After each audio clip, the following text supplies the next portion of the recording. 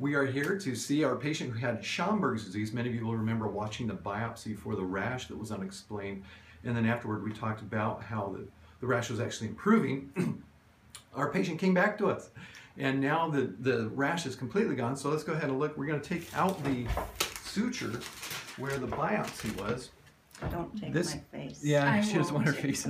she gave permission to show her area where the where the rash had been, and, and even though on the camera you see some uh, what we'd call modeling color, it's not what the rash was. This this is just um, this is just uh, circulation in the skin that causes that appearance. But but the rash is gone that had been there.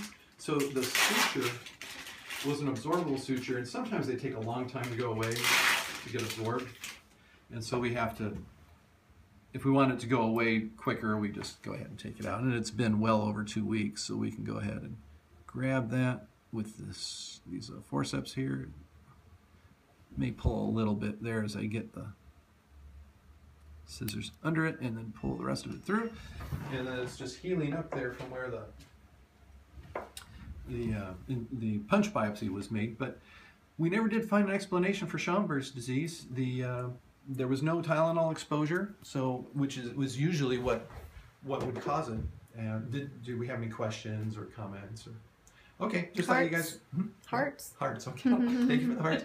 Thank you for the follow up. And uh, go ahead and turn us off. We'll do another one another time. See you guys. Alright.